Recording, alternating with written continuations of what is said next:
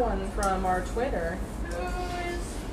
It's Melania, who we talked to Oh, last right week from Miami. in Miami. Hey, Yeah. Melania. Thanks Um, for tweeting in, calling in. This is in the telethon. Yes. She says, she says, thanks for your last week's suggestion about outlining. It was very helpful. Okay. When I begin the outline, I realize I have characters that interest me, but I do not have a clear story to tell. I felt there was no good conflict and I got stuck. What would you suggest in a situation like this? I really want to write. I don't know what's happening. Aha. Oh, good. You've done, well, you've done excellently so far. You've done everything right because what Melania has done is she had some questions. She watched the show, she tweeted in, she asked us, we talked to her, and she took some suggestions that were helpful. You only take the ones that are helpful. Rule number 1779. And um, and she did some work, which is really, really, really great. Okay, so now you have some characters that you really, she really likes her characters. You really like your characters, but they don't seem to have any. What? What is it? Maya? Story. Any story? Any story. Uh-huh. So what you can do, sometimes characters are very talkative, and they're like, blah, blah, blah, blah, blah, blah, blah, blah, blah. And they talk to you and they tell you everything you want to know about them.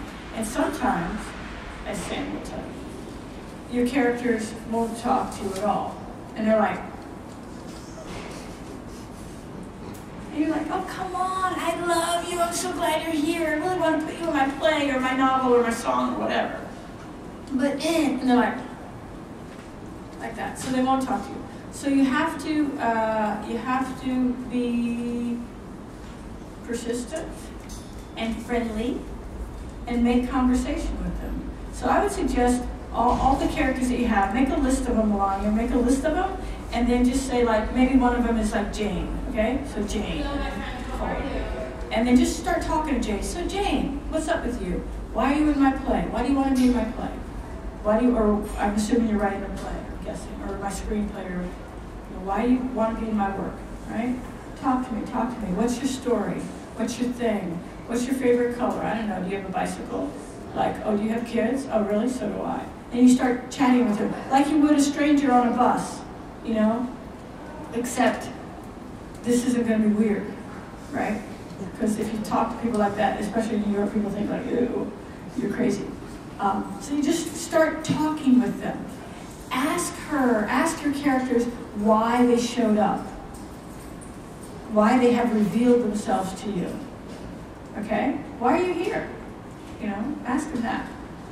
And they say, well, because, you know, I came with Mike. Great. Who's Mike? Right? Start talking to them as if they're real people, because they are.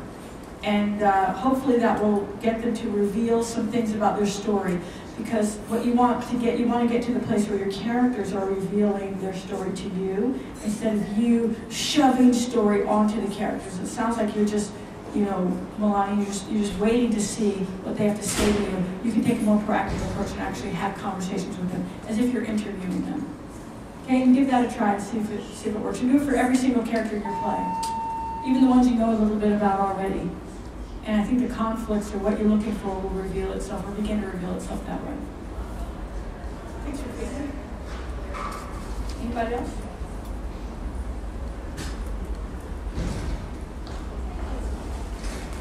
Oh, Hi. Star, hi. So this is a problem that I have, and it actually just happened now. So sometimes I'll have a project that I need to work on. I have a deadline for something that I need to work on, and but I'll get a prompt just anywhere. Like someone will say something, and that'll I'll serve, that'll start as my prompt. And so you, when you said when all else fails, blame the brother, that was my prompt, and then so I started writing based Right. on that. But then, but I feel like what happens is. I do that a lot, so I can be sitting down to work on something, and then something else will just pop in my head, or I remember something someone said earlier, and I'll go into that, and it's like I have to get it out because Right. it's in my head at that point. So it's kind of like I guess a question of um, just having like certain compartments for your work. Like if you Yeah. have something that you have a deadline that needs to be done, but then that other Right. thing that's in your head is, is Right. nagging and you got to get it out. Do you Right. have any suggestions for? Yes, yes, yes. So you have, Do you write mostly on your, did everyone hear Star's question, pretty much? She's, so she's got deadlines for work that has to get done, and then you sort of, things come into your head, whoa, that's cool, and you sort of will write on that for a minute, and then maybe you're not spending all of your writing time on the thing that has to get done. Yes. Because, right, okay, so are- you're not a Virgo, are you? No, I'm a Gemini. You're old. well, I don't know. We're gonna go ahead. No wonder. No, well, no wonder. No wonder. So you can, you know, you can blame your star sign, right? Okay. It's hard. It's hard. It's hard for you guys to like stay. You know what I mean? You know what I mean? But my dad, well, he's passed away. My dad was a Gemini. and He got a lot of shit done. He was like, like that. Okay. So it's possible. You just have to be. Um, uh, the word gets a bad rap. You have to be disciplined. You have to be a little more organized. A little more organized than maybe. Are you, are you a Gemini too? Pisces. You're, you're, yes. okay. Well, you got you got you guys got to be. You, know, you got to find some solid ground down there to stand on. So I would suggest a schedule and a notebook.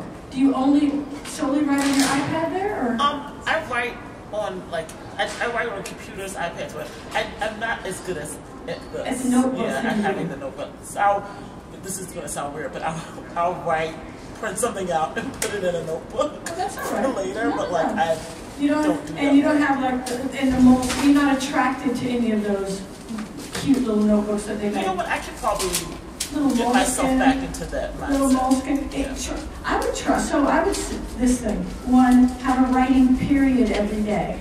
Okay, you have that, you have like uh, an hour a day where you write on your project that has a deadline.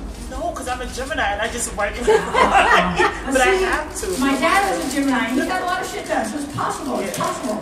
And what he would do, he was writing his dissertation, because he got his PhD, and he would like go to his office and like sit at his desk for a certain amount of time, and he got a lot of stuff done that way.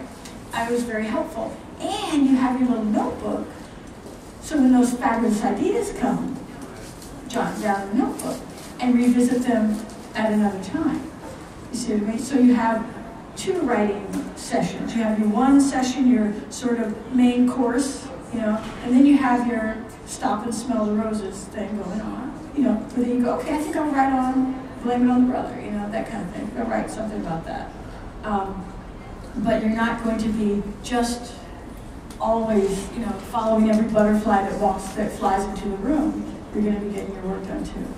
So is that helpful? So get a little notebook. Is that a Moleskine that you have that's smaller than that? You know, Tim, is that the, no, it's, so, you know, the, the size I'm talking The about. little one, The yeah. little ones, the little, Yeah. not, not, you know, tiny ones, but the little, they're about, you know, this, Yeah. this big, right? And they're cute, they can come in a cute little color. I mean, I like little cute, and, you know, and then you just, right? I will get one and I will and I'll let you know how it goes. Yeah, and, and just try, try that, and then then you can actually be working on your project, and then an idea comes in, you can just you have a, or whatever hand you like, you know. And I would suggest doing that instead of having two screens, so you're not flipping back and forth between two screens on your computer. Click, click, click, because that uh, it's just light going like this, and you don't need that. You need to. Okay. I try that. Try that. And also be be really diligent. This I have a deadline. I'm gonna fin- I have a finish line. I'm gonna get this work done. You know, um, and you won't miss anything by writing. Okay. Any question? That's a good question. Anybody else? Yeah, Tim. kind of like similarly, like like where, because like for me, I I find it difficult to find a space where I'm able to focus and create Right. because of like you know distractions and Right. ADD and things like that. Right. So. Do you have like a specific space that you Like are writing able, space? a writing space that you're able to like create without distractions, or do you welcome the distractions? Oh, well, That's a good. This is a very good question. So, do I have a writing space where I'm able to write without distraction? But this can one have a writing space where one writes without distractions? Um, I think if you have a writing space where you can write without distractions, great.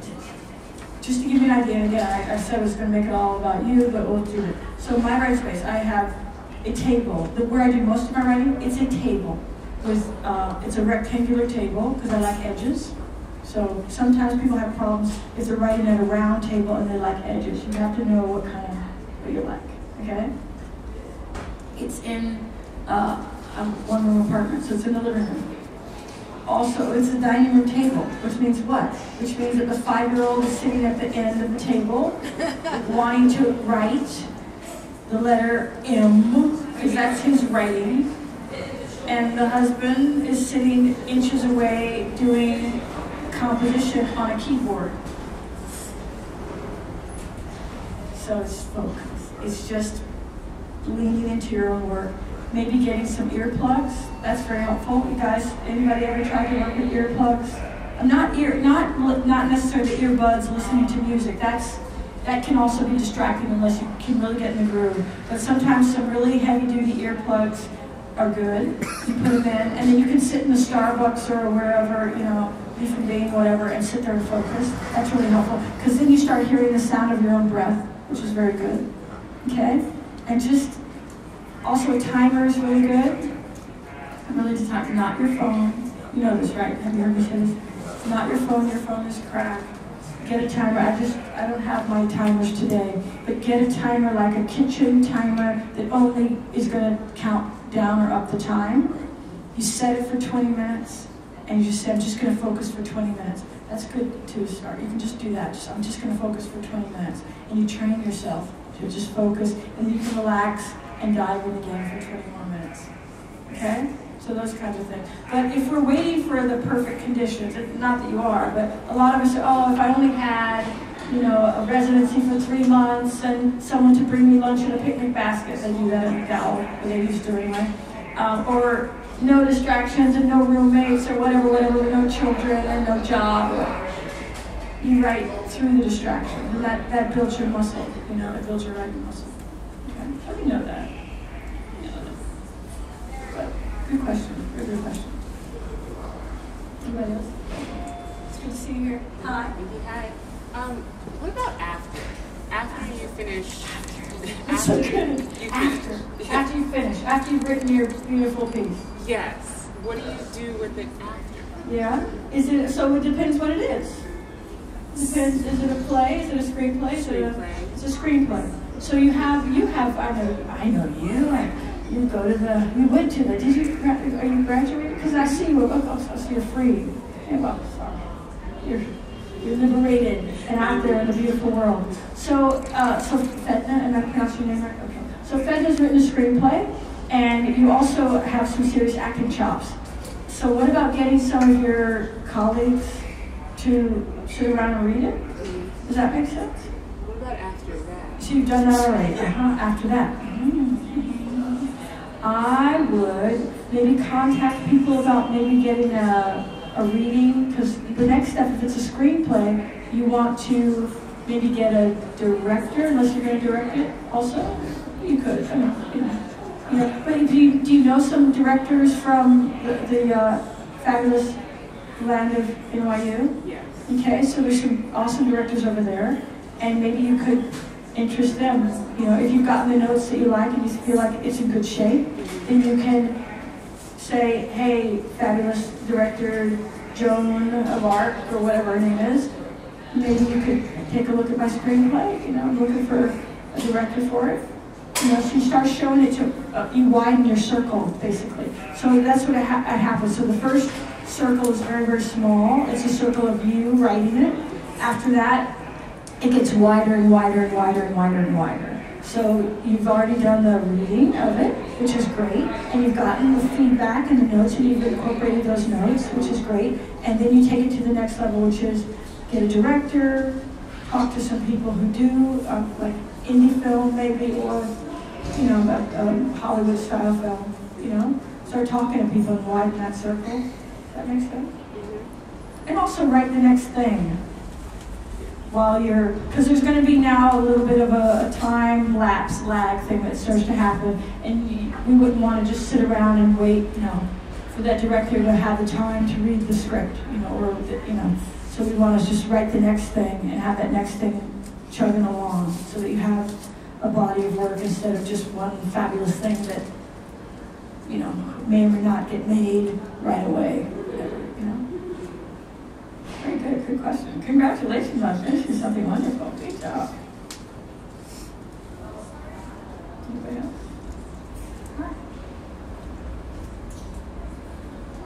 Yes, Mandy. How do you um, eliminate self-doubt or self-censorship when you're writing? What a good question. I know. How do we, that's why we, how do we eliminate self-doubt and self-censorship when we're writing? Um, right. So you probably we probably don't eliminate it. It's like the perfect conditions, right? So it's always there, right? It's always there. It just maybe you can turn down the volume a little bit of it, so that the voices in your head. I'm assuming they're from your self-doubt stuff, so it's from your own head, right? And what we can do is turn down the volume a little bit. And there's some ways we can turn down the volume. One, I think a really good way to do it is speed, not the not amphetamines. Yeah. Although I, I, maybe, maybe that will work too. I have, I have no idea. I don't know. That's well, that's an experiment that somebody I'm sure has done. Uh, sorry, I, I just there's a tangent I was going to go off on. like, No, um, some some um, unseemly politicians have been accused of being on fast moving. Because then they eliminate self doubt and self criticism. Yeah, just um, but uh, what we can do so, so speed writing quickly often helps. Okay, so what you want to do again, the same thing with the timer. You get your timer, and again, not your phone, because I heard, you know, Facebook, and I'm not on Facebook, uh, or, or it appears that I am, but I'm actually not. Those are people who are pretending to be me. But uh, it's true. But um, I've heard that these social media are very, uh, get you down a lot, okay? So what you can do is turn off your phone, turn it face down and turn it off, and then set your timer, which is not on your phone, and say, I'm gonna write for 20 minutes, and write as fast as possible. Speed is, all, you can outdistance the voices of self-doubt, okay? Also, what I try to do is, uh, or what I do is I write from beginning to end. I write a whole draft all the way through. I don't spend time fixing the first three pages too much until I'm done with the draft. Okay? Okay? So the third thing is that there's writing and then there's rewriting, and they're actually two different activities. So if you want to, first you want to do your, your writing, get to the end, and then you want to do your rewriting, which is a different activity. Okay? That's where you want to be self-critical and you want to have those voices in play because those are your editors. Okay? So try to write all the way to the end. Try to have a daily practice session, right? So it's a lot. I'm giving like a lot of, or any of those like, yeah. So do you have a daily writing session? You write every day? Yeah. Okay, good, good. There you go. So do you have a block of time, like a, Yeah, at least you'd be like in the evening. okay, okay, Ev- almost every day or as, as often as you can? Yeah, Good. like Okay, so, good, very good. So what happens when you sit down to write? Is it, what is it? I don't know, it depends on the day. Um, Yeah, yeah, sure. Sometimes I, I'll have something that comes to me, and sometimes I just don't what do. Um, Right, Or like, I'll know where I want to be, but I, I don't know how to get there. right. And so what do you do when that happens? Sometimes, uh, sometimes I'll like, I don't know, try to move around a little bit and see if maybe things like that. Sometimes I'll just like try to write down at least one sentence or Good, one word. good, good. That's good. Yeah. Yeah, yeah, I mean, you can always write down one word, Yeah. right? You really, and that's the thing, you can always write down one word, just one word. Even if it's like, well, that's two words, fuck it. Just two words. But, you know, it could be one word. Yeah. You know? You can always write down at least one word. And that's very, very powerful to be able to do that. Because what you're doing is you're alerting the, the spirit, I'm here, I'm working on it.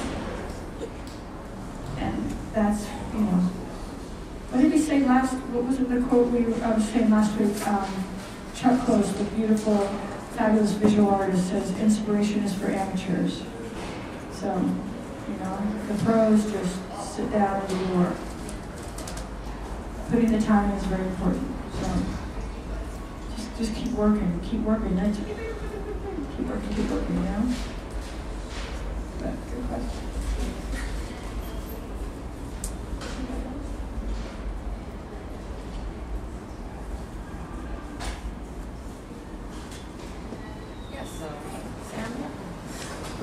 So I'm finding myself now working on pieces simultaneously. Right. So I'm trying to not distract, have be distracted by one when I'm trying to work on the other. And it's just become. I mean, it's it's interesting to try and sort out because I feel like I'm writing a scene and I'm like, okay, that'll work over here, and then I write another scene. and I'm like, that'll work over here, and then Right. I'm getting. I'm trying to not get to the point where I'm throwing everything up in the air and seeing what lands metaphorically. How do you? Do you have any advice as to? The characters are now yapping away. Good, very good, but, but you think they're, they're two different pieces? It, it's starting to feel like it's too fast. Okay, okay. Well, so what's the problem? The characters are talking to you and you're writing. I feel like the character. I don't want it to turn into fan fiction and it's starting to like edge. Fan fiction, like, There's a Yeah, I know the. Harry Potter. Sure, sure, sure. You know, so Yeah, that the crack has to be turned off. But there's, you know, it's just there's interest. Like I'm trying to. I have a lot of children that I babysit. right. 50 at least. And all the parents are like, write us something. We know you're writing. And I feel like that is sort of starting to make me shut down a little bit. And Oh. just feeling a little like, I'm just going to listen to all of you talk and tell me what your kids like. And, you know, maybe I'll be able to sort of recommend something while I figure out, you know, Right. my story is. But this is a totally different thing. So, Yeah. whoa, whoa, whoa, whoa, just, I know, I'm kind of words. Okay, no, no, no. So, so you, so you baby, you actually do babysit 50 people. Okay, so it's not just a, a No, no, no, no, okay, and their and their parents are asking for let's write us something. Yeah, basically. Yes, I was just. I. I don't think I would like. Like edgy? Just say no. Pretty No, much. You know. I'm not going to write you anything. Yeah, which is what I did, but then I thought, oh, there's all these. Yeah, it, it's. I'm just trying to set a boundary with people who are pulling me. Yeah, yeah, yeah. But well, they're paying you for babysitting. A, a lot of people they find you're a, find you're a writer and they want you to write something for them. Uh, my son, who's in kindergarten, as you know, he has a hey, hey, he has a, a wonderful, wonderful faculty. He goes to great school, public school, and he has a great bunch of teachers. And they found out I'm a writer, so they asked me, so maybe you could come in and talk to the kids about writing. And I said, um, yeah, I'll get back to you on that. Because the kids in my son's class, they don't know how to yet write their name. I mean, they're just learning how to write their name. So I'm going to wait on the conversation about writing with my son's class. I'm going to wait a long time. You know, you can say no. You can say no. You know what? I'll, I'll, I'll, I'll, you know, show you my. I'll invite you to my play when it's produced, or I'll send you my novel when it's published, and you know, but it's it's, it's not. It's, I'm not writing like kids books, or or, or, I'll, I'll, I'll let you know. Yeah, I'll let you know. So you know, I'll let you know. yeah, that was, that was a very strange experience. Yeah, yeah, yeah. But for your work, for your work, for your work. To get back to your Yeah, it's, work. but what, it, it was good because it made me realize I was like, okay, my, I'm definitely solidly writing a play for adults. Good. Children are not going to, it's not going to be appropriate. And I'm feeling this, you know, pressure. I was like, I, you know, I'm kind of doing the same thing. I was like, do I, do I self-censor? You know, various people, No, no, the world, the world is always going to demand things of us, and we have to say just no, no, or in in a polite, kind, friendly, sweet way. You know, like I told my, I mean, I think I rolled my eyes when she asked me to come in and talk to the students about writing, but I smiled. so small, roll my eyes to the side. Yeah, maybe, maybe, maybe next year. You know. Yeah, but yeah, yeah, because yeah, you know, the li- it was better than the request I got last year, which was come and talk to the pre uh, pre-K kids about writer's block. I was like, I was like, really, really, really, really, really. So yeah, the pre-K kids were having writer's block, and the teacher wanted me to come and talk to them, and I just said, no. the teachers have Yo, right, writer T, yeah, yeah, Carol says, that teacher is having writer's block, yeah, I, yeah, so you just said no, thank you, you know, thank super busy.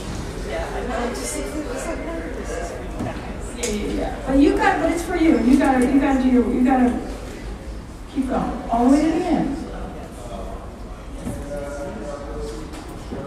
How are you doing? Mine's like nap time, no? Ten minutes. Ten minutes.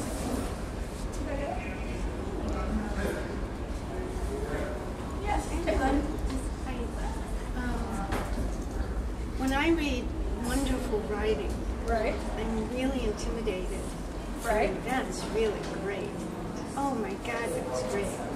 Why do I think I can write? I mean, I'm just telling you. uh, Yeah, yeah, yeah. You know, I love it, and then I think, what am I? Come on. Right. And so, can you discuss that a little? bit? Yeah. I mean, one uh, is like, don't read ever anybody else or go to anybody else's plays or read any novels or watch any movies. Then you won't have that problem. Ah, it's just a joke. I'm just joking. So you heard, you heard what Lynn said, right? Sometimes you watch, you'll, you'll see somebody's movie, or you'll read somebody's play, or you'll read somebody's novel, and they're like really, really good. And they're, you know, it's like, oh shit, you know, I'm not Shakespeare. What am I doing? You know, really, right? Why am I even writing? I'm not Gershwin or whoever you like. I mean, I don't know, just the name came to me. But, you know, right? So, how do you deal with that? You know, I think every single person who's ever made anything has that feeling, maybe, unless you're on amphetamines. I mean, no, even the 45th is like, I'm not the 44th shit. You know? I mean, he's like, you know, he's, he's really jealous, and you gotta work through it. You gotta work through it, you know? My crowds weren't as big as his. What am I doing? You know, and you gotta sort of find a way to get through that. And we have to find a way to get through that. And the only way I think to get through it is to do your work. You know? Because like like Bob Dylan said, like, I don't know when he said this, but the world doesn't need another song, right? He said, I mean, that's a paraphrase. So he probably said it much more eloquently. They're like, fuck it, man. You've written, I mean, yeah, you've written like all the songs. Who are you to say the world doesn't need another song? You know? So we have to give ourselves permission to do what we gotta do. Right? Yeah. I think it's important to remember that that's not his first draft. Yeah, that's a good point. You know, It's not his first draft, He's been editing, there's been other and if, if you ever see the first drafts of the books, it's quite different. Exactly. That's true. That's very true. It's not their first draft. It might not be their fifth draft. That's true too. But even when it's done, if you still have that, you know, you have, we all have that similar feeling, and you think, I'm going to do my thing. You know, that's it's it's sort of like it's an act of will. Just you have to just will yourself to continue. Um, and again, like we are talking with Mandy, you don't don't pay as much attention to the voices of doubt because that might be how your doubt is manifesting itself today, right? Tomorrow it might be, oh, gee, my mom would hate this if I wrote this, right? The next day it might be, I mean, I'm just saying that, that that's not how your doubt manifests itself, but someone else, right? You know you've heard people because you've been coming here for a while. People are like, oh darn, I don't have enough time. I have a day job. So that's how their doubt is manifesting itself. Or I don't have enough. Uh, what, I'm a kid. I can't do this. Right? It's a it's a block that you're putting in your way. Recognize it as that. It's a mental thing that you're doing to yourself. You know. Yeah, we're we don't, we're not writing the Brothers Karamazov song. Okay. I wasn't reading that, but I was reading James Baldwin. You're reading James Baldwin. Oh See? God. I know, see? His words are See? I know. He has so much to say, and he says it with such eloquence. And it just fills my heart. But let it let it buoy you. Let it ferry you across. These writers, if they're worth anything, if an artist is worth anything, they're making their greatest effort in to serve as a, as a means to ferry the rest of us across. That's what we're doing. Any artist who's making their greatest effort in, as a means to like make people feel like shit. Oh, good! I'm gonna make a really great play, and so people will feel like shit. Oh, they can't write what I wrote. I mean, plays. that's some bullshit, and that's horrible any great artist, truly great artist, James Baldwin, he's writing those beautiful words to ferry us across. That's why he's doing it. That's why he's doing it. That's why all the, the, the wonderful ones are doing it. That's what we're doing. That's why Barlow does it. Right, Chris Barlow? Right? Facts. Oh, yeah, yeah. Boom, baby. Yeah. Right? We ferry, we're, we're sharing our love with each other to help us get to through the day through the year, through the month, through the whatever, through the shit, through the beautiful moment, to remember the beautiful moment, to remember again. That's why we're doing it. So take that from their work instead of squish you like a bug because you're nothing and I'm a god. You know, you see what I'm saying? You're, you're choosing to turn it into an impediment instead of a means. Exactly, which is what it is. If you look at it in the right way. It's a choice, it's a choice, it's a choice. Hold on.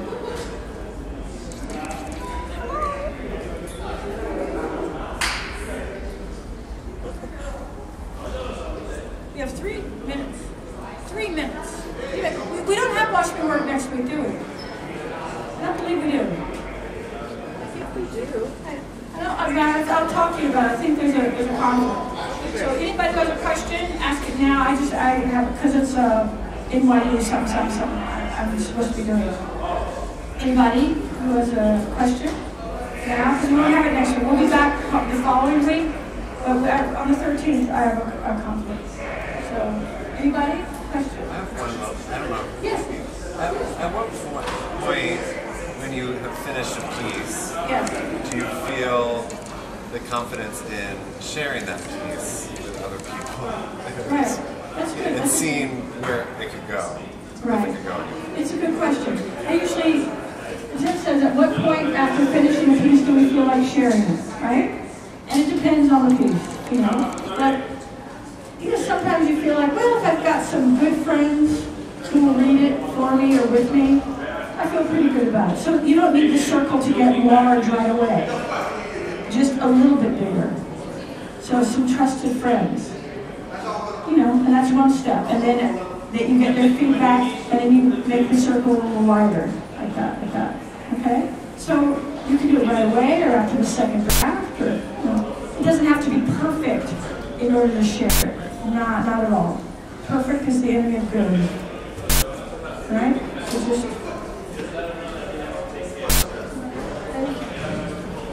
You get, yeah. Yes.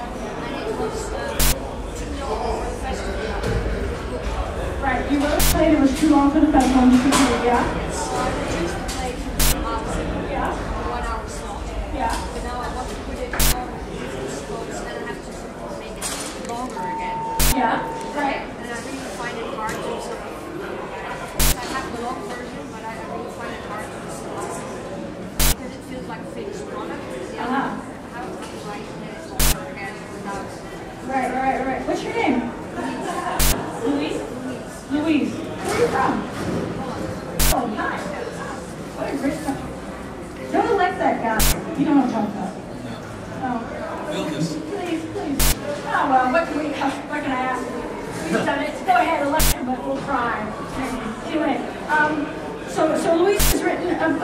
And she had, we'll just keep going. She has a, she had a one-hour slot, and she dutifully and brilliantly, I guess, reduced it down to the appropriate size. And now that she wants to put the play on in other places, she's wondering, how do I go about making it a quote-unquote full-length play again? It's tricky. You might have found the perfect size for it and realize that making it longer is just adding things that it never really needed. So is there a second, is there a companion piece that you could write? Is there something new you could write for it? Because it's very tricky. If you feel like it's in good shape now, and is there a companion piece you could write for it? You see what I'm saying? Yeah, and then you could have the first play something, and the second play a companion piece, and that could be a quote unquote full evening, you know. Even though, you know, uh, great writers like Caryl Churchill, she'll write a, a full length play that's like 10 minutes. It's great. It's like, oh shit. You know, she's amazing doing that. So we're allowed, or Sam Shepard says the play should only be as long as it needs to be. So, you know, but if you want to make um, a, a, an evening with an intermission, you can make a companion. Right? You know? Well, actually, reducing it from two hours to an hour uh, seemed to be an impossible task, but in the end, it worked out better because I didn't need so many words. Oh, very good. Well done. She said she didn't need so many words. Isn't she? Isn't she? Good. Oh, please come back. Don't away. Come back and no, you you won't stay here with us. No, okay. Well, Still like that guy. Yeah. But thank you. Great question. Are we good? Are we done? So we, we probably won't be here on the 13th because I have a conflict something. Okay. Well, thank you guys for coming. You.